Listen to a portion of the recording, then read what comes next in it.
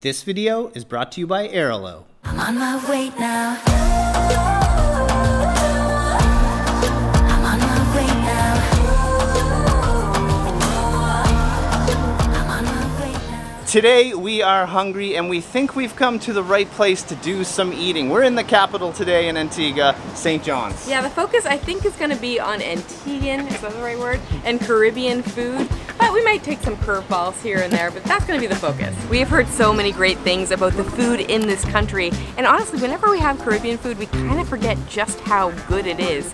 And over the last few days, you know, we've been here, we've been exploring a little bit, we do already have a video from here, and we've kind of been avoiding eating the local foods so that today we could really try it out for the first time. We're already on the hunt here for uh, some food. Now if you guys are new around here, it's Trevor. Anna's right back there. Make sure to hit subscribe and the like button if you're hungry today. If you're not new, thanks for coming back once again now. Let's eat. Our first stop today is called Roti King, and this place must be popular because there's a line here just as it's opening. Now, I'm gonna tell you guys before you even get here, if you're coming to this city, you have got to be aggressive when you're ordering. So there was sort of a line. I thought it was my turn, and then people would come behind us, and the girl would just say, "Who's next?" And everyone would just say, "Hamburger, stew." so be aggressive when you're ordering. But we got some delicious food coming. So roti is one of the main dishes you're going to find in various Caribbean islands, not just here on Antigua. But I- it's funny, we've had it a lot of times on the other side of the world. I think it originates in India, but we've had it in Indonesia and Singapore, all over the place. And I kind of wondered, like, how did it end up here as one of the main dishes in the Caribbean? So I looked it up. Apparently, in the 19th century, a lot of Indian workers came over in the uh, sugar plantations and they brought their food with them. So curry, roti became a big Caribbean dish. All right, let's uh, cut right into this guy and see what we're see what we're working with. I'm not sure what the proper way to eat this is, but I don't know how you could possibly eat with eat with your hands. So I'm definitely using a fork and a knife. Hopefully that's the appropriate way to do it. If it is supposed to be with your hands, apologies. Look at that. You can see the roti, which is essentially a very very thin flat bread on the outside, and then on the inside. Ooh, you can smell that curry. I wish you guys could smell this. It smells amazing. Chicken. I think I see some potatoes in there. It honestly smells amazing. See if it is amazing. Oh my goodness, this is absolutely delicious. I love the roti itself. It's nice and soft and light and fla- ever so slightly flaky, but I love just how thin it is. It's not overly heavy because the ingredients themselves are really where it comes into play. That curry is incredible. A little tiny bit of spice to it, but nothing overwhelming, but just really, really good flavor. There is some hot sauce on the side, so maybe we'll try that with it as well. Moving right along to this dish, we got some macaroni pie, which is very popular here. Stewed chicken, rice and beans, and a salad. Now, macaroni pie is hugely popular on this island. It's on all the lists of foods to try. It's like a must-try thing. So, really, it kind of looks like mac and cheese. If you're from our part of the world, you're gonna say mac and cheese, but you can see kind of some little burnt marks and gooey cheese on the top, and then of course the, the noodle itself. Now, usually it's served cold. I'm not sure if this one is, but let's give it a try. Well, this is just pure perfection. Dare I even call it heavenly cheese? You guys, noodles are perfect, but the cheese itself, what's going on in here? We we had high expectations of this specifically coming in here, and it is living up to the hype. First of all, the cheese is just really rich. It's really creamy, but the little crispy parts on the top make it because you get the contrast. You get the kind of the hard little bits of cheese and the soft bits of cheese. Mm. Oh, if you're coming here, it's worth just getting this alone. Oh my goodness. Let's try out this uh, stewed chicken. This is just completely falling off the bone.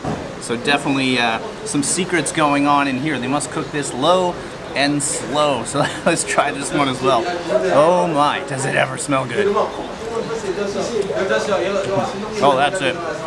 Chicken, mac and cheese. Mm, perfection. I'll try out the rice and beans here next. Now, rice and beans, of course, are a huge staple here in the Caribbean. I think almost every country, every island in the Caribbean goes to this when they're really hungry. I mean, rice and beans, it's usually not too expensive, but the thing is, down here in the Caribbean, they know how to do it. So let's see here if Antigua can do some rice and beans. Oh man, I love, I love rice and beans. I don't know what it is about hot weather. Like I know rice and beans should be heavy, but there's something about it that just works when you're in weather like this. It's also the perfect companion to that mac and cheese, the macaroni pie, and the chicken. Of course, we have the salad as well. This is a great start to the day. I feel like we're at a really local place. There's no other tourists around. And yeah, I think we're doing all right. I don't think this restaurant is going to be top today. We're just talking amongst ourselves here saying this food is absolutely crazy. Great start to the day. The thing is, we're trying to pick a favorite. That's, can you pick a favorite here? Yeah, so I just tried the stewed chicken because Trevor obviously tried it on camera and I didn't get to try. Really nice sauce on it. It's a little bit sweet, not spicy at all. I'm gonna, again gonna go for that hot sauce. We haven't tried that yet. I'm gonna guess it's really, really spicy. But the roti is just incredible.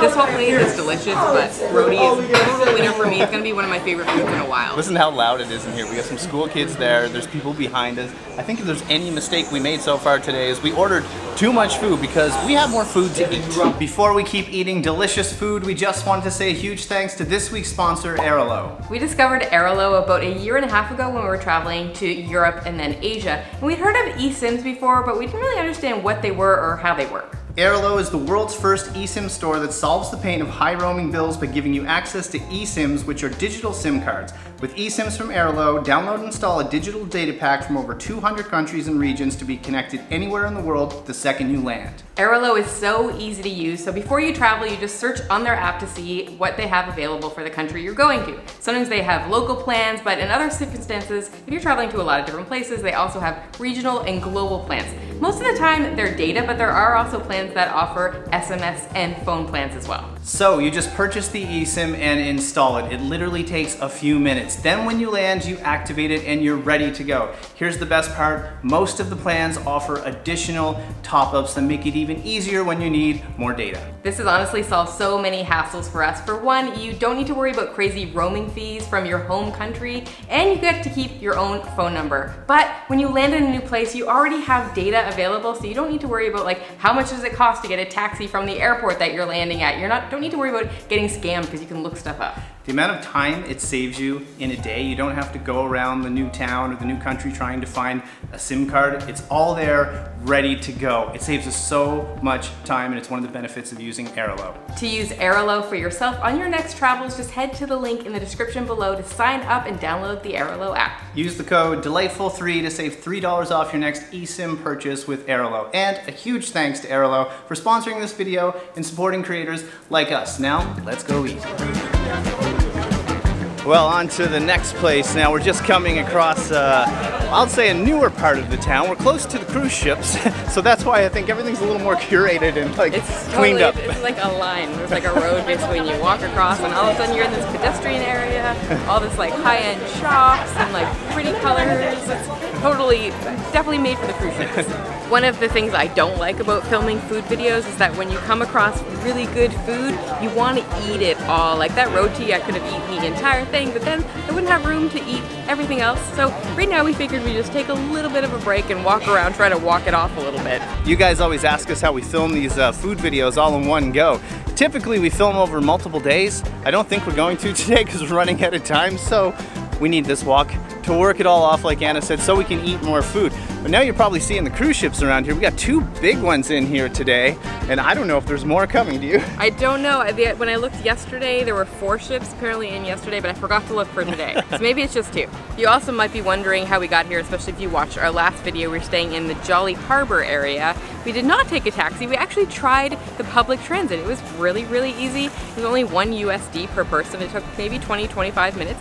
Quite busy, but not stuffed. It was basically like a van with, I don't know, probably Yeah. like 12 seats or something. I mean, if people watching from the DR, it's like a guagua. You just hop Yeah. in, pay like a dollar, and Yeah. then you get here. It was fun actually- and it was easy. It. It was easy, but yeah, look at these ships and the color of the water, though, huh? No, I can't get over the color of the water, especially like in a port. We're not even on a beach right now. So we've been on a hunt for some shawarma. We came across this local place. There are a lot of people here. We actually got it to go because there was very loud music, a lot of people around, not many tables. We've come over to a cute little spot to try it. Shawarma is probably not the first thing that comes to mind when you're thinking of things that we might be eating today in Antigua, but I read lots and lots of lists of things you gotta eat here, and shawarma, oddly enough, was al always, always on the list. I think it's because there were a lot of Lebanese and Syrian immigrants that came here in the past, and now there's just a whole lot of shawarma shops. Funny enough, I have not eaten that much shawarma in my life, even though I love Mediterranean food.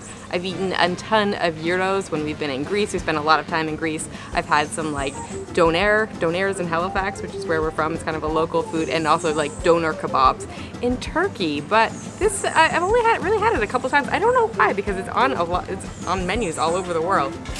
It's also kind of fun because it's this street food. Like we couldn't get a seat. We're just sitting on a random bench here.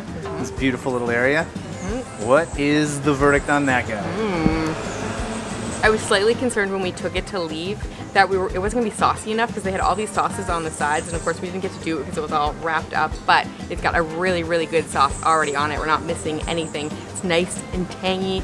A little bit sweet, a little bit salty. Um, I don't normally love tomatoes on like a sandwichy type thing or a wrap, but I find it goes really, really well here. It just adds a little bit extra to it and a little crunch from the lettuce. The chicken itself, super tender, super flavorful, really, really good. Well, Anna completely sold me on this little guy, so I'm gonna give it a try as well.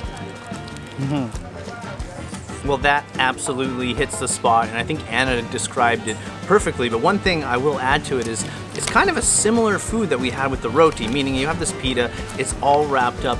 But my favorite thing about this, maybe this is my favorite thing so far about Antigua, is there's different kinds of food, and I love that a shawarma is up there with local food.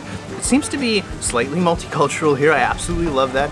Usually when that happens, you get a variety of food like this. So it's not just like jerk chicken and stewed chicken coming in. You get delicious, delicious shawarma like this. So this area that we're in right now, that's right next to the cruise port, is beyond cute. Like where did this come from? It popped up I know, we just kind of walked through a little archway and we discovered this place. I think someone referred to it as the market. I'm not sure if that's an official name, but there's like an art gallery, lots of cute shops, restaurants. There's actually a restaurant called Cuties, very aptly named. That's how we got the recommendation. We asked the local uh, where to try the shawarma. She pointed us to where we just went, and then we came down here to eat it.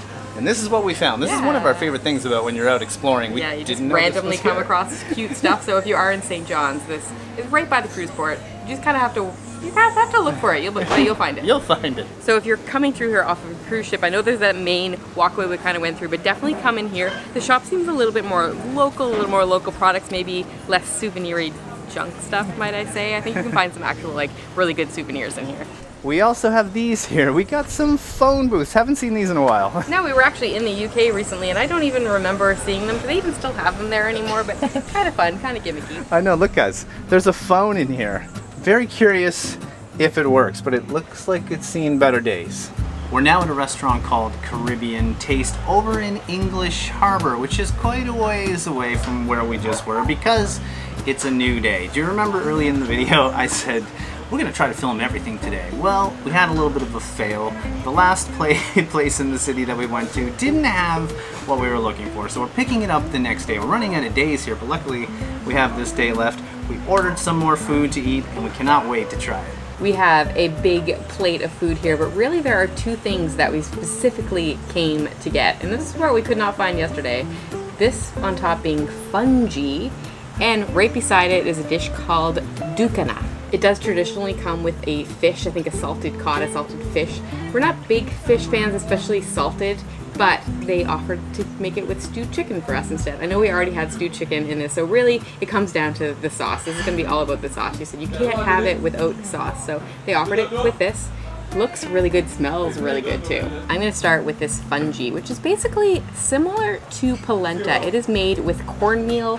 Also, I have my notes here on my phone. I'm gonna uh, just refer to for a second. It's made with okra water, and it could be seasoned with onions and peppers, and it kind of is like a mashed potato, or should have a consistency much like that. And it does, but as I put my fork through that, it's quite dense. Yeah, anybody watching, well, at least from our part of the world, is gonna say that looks like a mashed potato. Yeah, just a little yellower. So if we are gonna actually compare this to a mashed potato, I would say it's a little bit more dense, a little bit more chewy than that, and a little less fluffy. But it does, you can definitely taste that cornmeal taste, so different, different taste than a mashed potato. It's quite simple, simple, quite delicate, so I think it'll be a lot better with um, the sauce. And it makes sense that she was like, no, you have to have to have it with sauce. Well, Anna mentioned the sauce. I might as well go ahead and try it. It really has the uh, texture or consistency, I believe, of gravy. Oh yeah. Mm. Oh, it's like I'm eating turkey dinner. back home. This is super, super comfort food. Mm. The gravy's like a little lighter than what I'm used to, at least what I think when I have in Canada, say on Thanksgiving or something like that. It's a little bit tomatoey as well, but it really, really makes um, this dish sing. Like I like this a lot, and I love that the sauce is also covering everything on the plate. All right, I'm gonna try this Ducana. Now this does not look very appealing at all visually, but this guy is made of sweet potato, coconut, and pumpkin. So it's kind of like a tamale. Uh, it's wrapped in a banana leaf. Now I'm gonna just kind of soak this up in this uh, gravy that I like. But yeah, the color of this, it almost looks like, well, it doesn't look like you should eat it in a way, if I'm being honest. But let's see what it's all about. Oh wow. Oh, not at all what I thought. Well, this is a whole lot sweeter than I expected. I don't know what I was thinking when I took a bite. I don't know if you guys can tell, but it's extremely dense. So it's very chewy. Not like crispy chewy, it's just like it feels like you're gonna keep chewing uh, forever. But the thing is, the sweetness comes forward right away. So you can really taste that coconut. You can taste the other ingredients as well, but I'd almost say like it feels like it could, it could be a dessert.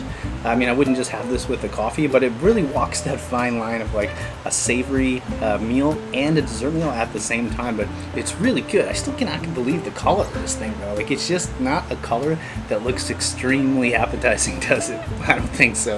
Okay, I think I need to try this as well. And just to clarify just one thing that Trevor said, this was actually cooked in a banana leaf. It's now no longer, as you can see, wrapped in a banana leaf. It just cooked that way, the same way a tamale would be in, say, Mexico. It is super dense. Like, to cut through it, it takes a little bit, you need a little bit of a effort to get through it. Is chewing gonna be the same way? I'm very curious Oh, what wow. you're gonna think about this. It's like a whole new taste. Interesting. So I actually dip mine in the sauce before I try it, and I think that's actually perfect because you get the sweetness from the Duk- Ducana, uh, which also has cinnamon in it. I, I tasted cinnamon right away, and I had to go back to my notes. There is, in fact, seasoned with cinnamon, but I love the combo of the sweetness of the sweet potato, the coconut, combined with the saltiness of the sauce. It's really good, better than I expected. After I wasn't sure what to uh, what to think after Trevor tried it, but I think it's the important thing with both of these dishes is to have sauce with it. Well, that's gonna do it for the food video here in Antigua. We had so much fun.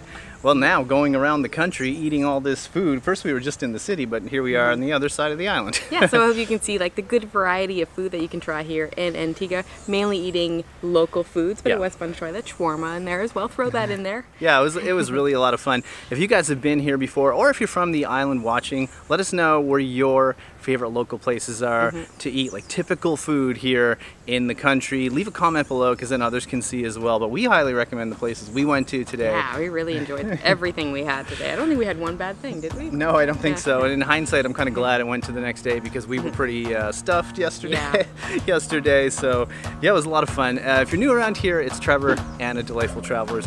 Hit subscribe. We do have another video coming up. Can't wait to show you more of this island. But for now, it's time to maybe go to the beach. I mean, we're surrounded by these beaches, Yeah, 365 of them. 365 to choose from. How do you pick? But we're gonna do it. We're gonna go spend a little bit of time at the beach. All right, guys, that's it. From Antigua, wishing you delightful travels. See you soon.